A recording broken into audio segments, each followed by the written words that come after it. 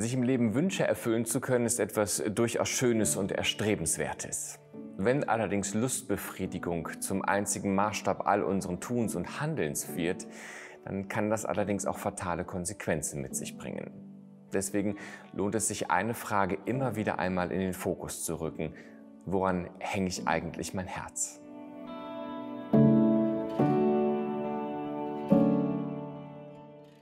Wahrscheinlich würden die wenigsten von uns sagen, dass sie in ihrem Leben unfrei sind. Je weiter wir allerdings im Leben voranschreiten, je mehr Entscheidungen wir treffen und je mehr wir uns im Leben zulegen, umso mehr engen wir unsere Möglichkeiten ein. Wer sich ein Haus zulegt, muss sich nun mal darum kümmern, dass es ein Schuss bleibt und auch die kommenden Jahrzehnte übersteht.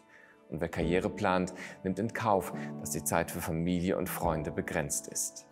Dahinter stehen Entscheidungen, die wir treffen und die deutlich machen, wem wir dienen und woran wir unser Herz hängen.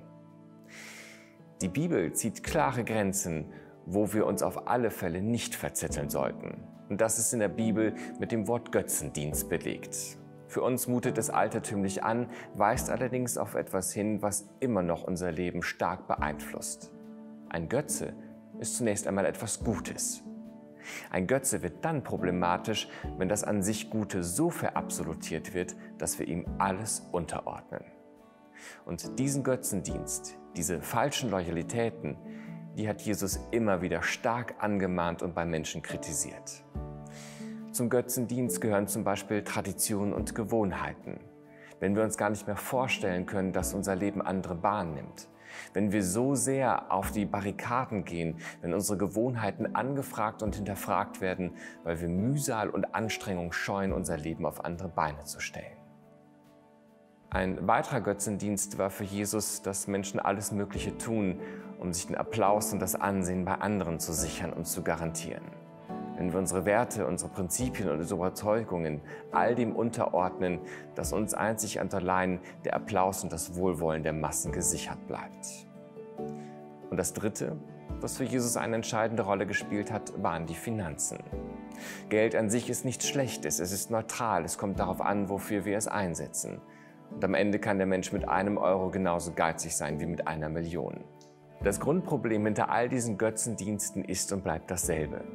Ein Götze fordert Opfer und ein Götze befriedigt eben nicht. Ein Götze hält nicht das, was er verspricht und kann den Menschen am Ende nicht satt machen.